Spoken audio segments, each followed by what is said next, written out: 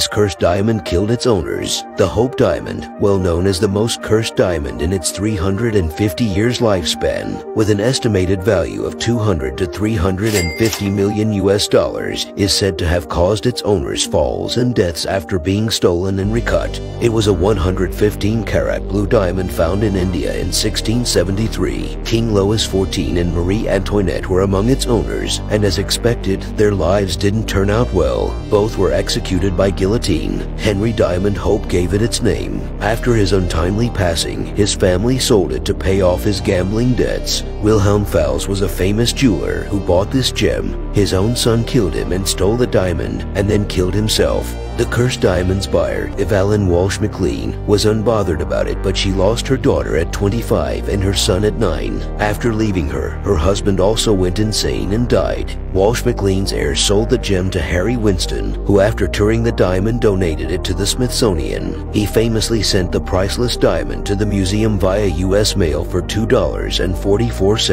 Maybe all he wanted was to get rid of it, and now you know that.